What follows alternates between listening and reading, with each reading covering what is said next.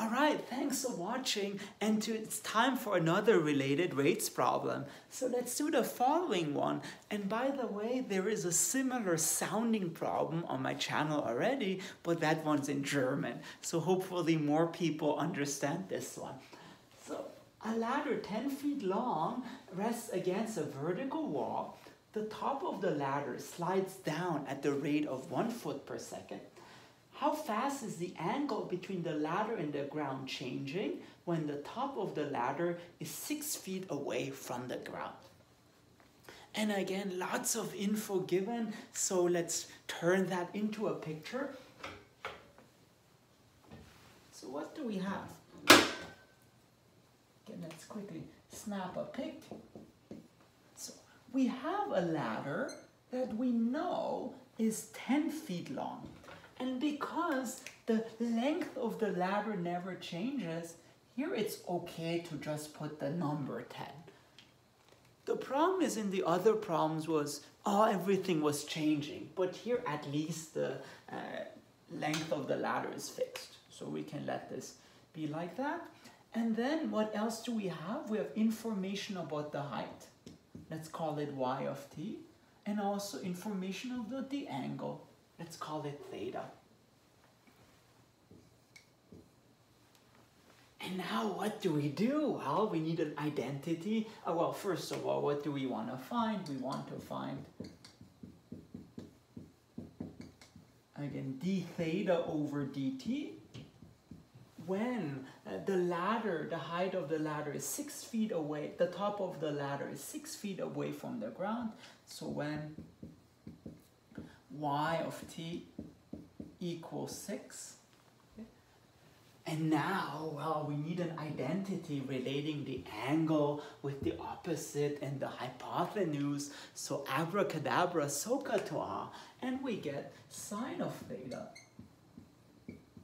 equals uh, y of t over 10. So in other words, y of t equals 10 sine of theta. And now what we would like to do, let's differentiate that. So what we get is y prime of t equals 10 cosine theta. But remember, we also need to differentiate theta. So it's times d theta over dt. And so all we need to do is plug in, you know, all the values that we have and we want to solve also for d theta over dt. So what do we know? So let's look back at our problem. We know that the ladder, the top of the ladder slides down at the rate of one foot per second. So your first guess might be, okay, let y prime is just minus one, uh, y prime is one. So you might guess y prime of t is 1. But look, this doesn't quite make sense because the ladder, it's going down. In particular, the height of the ladder is decreasing. So it cannot be 1 because 1 would mean it's increasing by 1 foot per second. And that's why to really emphasize that y is decreasing, you put minus 1. And that's very important in related, related rates. Always ask yourself, is our quantity increasing or is it decreasing? So that, okay, we figured out. And now what we need to do, we need to figure out cosine of theta. So let's draw uh, the picture again. So again, the, uh, the length of the ladder is 10. And also what we know now is that y is 6. And what we need to do is find um, cosine of theta.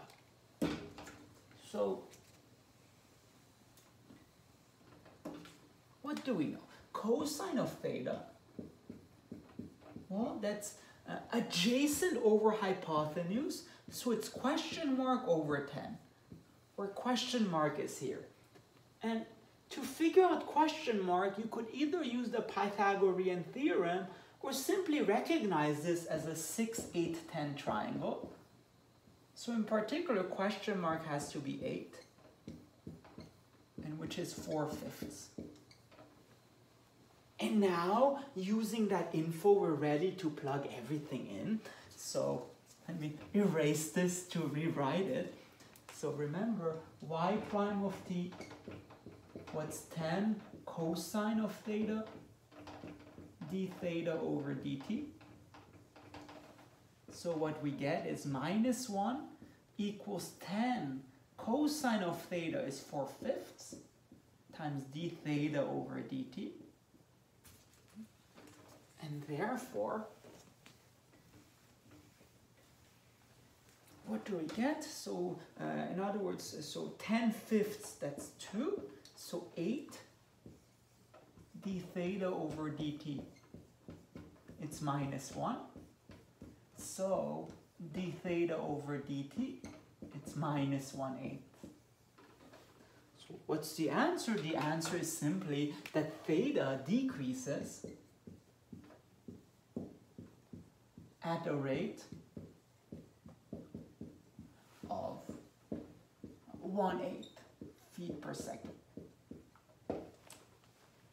Very nice. So hopefully now you see a couple um, bag of tricks with related rates. One was the Pythagorean theorem in a previous um, video, and now you see also uh, trig identities are also very useful. All right, I hope you like this. If you want to see more math, please make sure to subscribe to my channel. Thank you very much.